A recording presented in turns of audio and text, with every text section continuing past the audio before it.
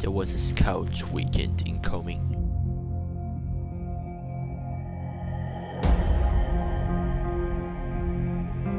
The boys did not know what was going to happen.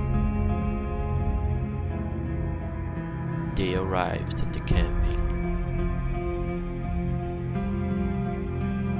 They got some free playtime. They went to the cornfield. There they found an old barn. But what they didn't know, they were not alone.